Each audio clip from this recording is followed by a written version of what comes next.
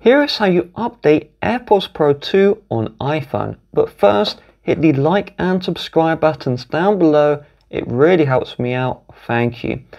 So first of all, make sure you have AirPods Pro 2. You can check this if your case has speakers, it's Pro 2. If not, it isn't Pro 2. Once we've done this, your iPhone needs to be iOS 18. Then open the lids of your AirPods. Make sure both buds are inside of the case.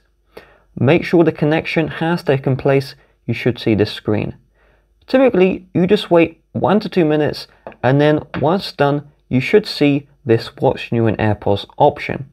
If you don't see this option, your software may have already updated. So let's check by opening settings. Then we're going to select Bluetooth. Then we're going to connect our AirPods. Then we'll tap on the eye. And inside of this one, the new AirPods software has this feature called head gestures. If you see head gestures in your settings, your software is already updated. Great. If you don't see this option, as there is no update button for AirPods Pro, the AirPods Pro software only updates after you connect the AirPods to the iPhone and it sometimes happens overnight. It sometimes takes a couple of hours.